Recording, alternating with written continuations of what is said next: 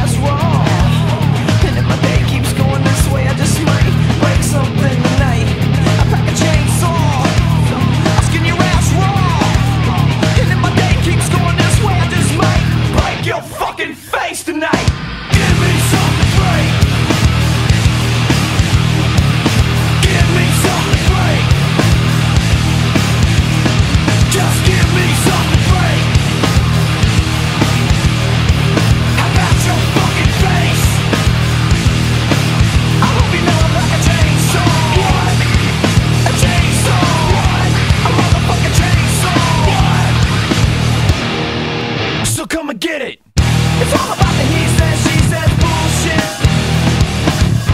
I think you better quit, let shit slip, or you can leave it with a fat lip. It's all about the he says, she says bullshit.